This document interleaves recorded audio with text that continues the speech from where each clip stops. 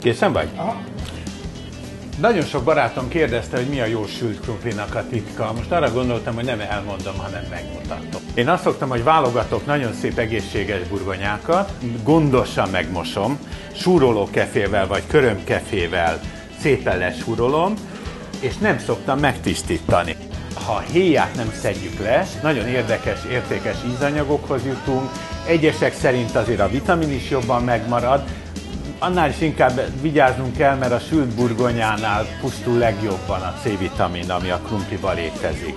Vágásnál mindenképpen érdemes arra figyelni, hogy ha már levágtunk egy darabot a krumplinkból, akkor arra ráhelyezem, akkor már nem kezd el mocorogni, és szépen ilyen, ilyen Hát ilyen vastag gyufákra szoktam vágni, mert szerintem ez a leglátványosabb krumpli. Egy személyre szoktam fél kiló krumplit számítani, és hogyha sikerül egészségeseket választani a hipermarketbe, vagy pedig a zöldségesnél, akkor gyakorlatilag nincs veszteség.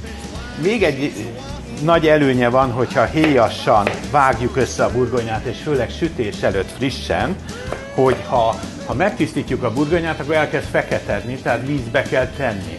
Na most, hogyha a krumpling még megszívja magát vízzel, sokkal többet kell kisütni belőle, tehát hogyha ha ezt elkerüljük, és ezt nem így csináljuk, akkor csak az a vízmennyiséget kell kisütni a krumplingból, amennyi eredendően a természet során belekerül.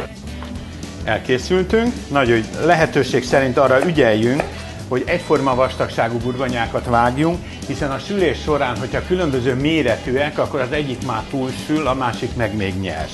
És nem tudom, ettek-e már félnyers sült krumplit, vacak.